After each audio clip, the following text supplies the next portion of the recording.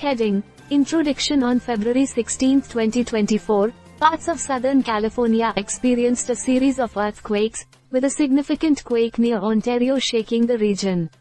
Reports from various sources, including NBC Los Angeles, USA Today, CBS News, and ABC7, highlighted the seismic activity in San Bernardino County.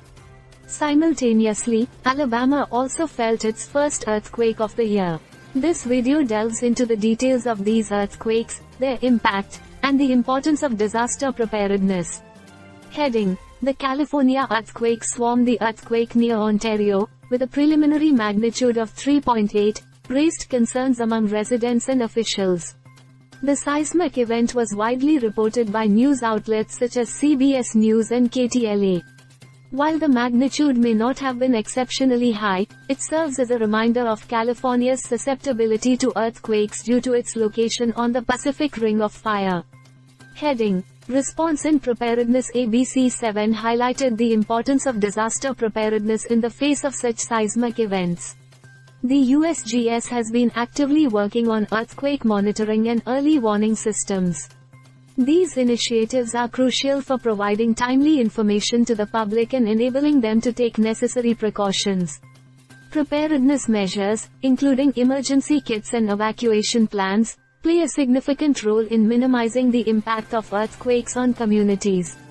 Heading Alabama's first earthquake of 2024 Meanwhile, Alabama experienced its first earthquake of the year, as reported by CBS 42 and WVTM 13.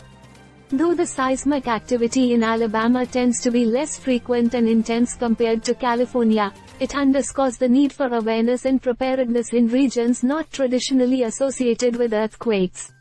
Heading Historical impact of earthquakes To put these recent events into perspective, it's worth considering the broader historical impact of earthquakes.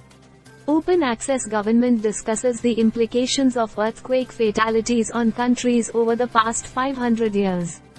Understanding the historical context can help societies develop better strategies for mitigating the effects of seismic events.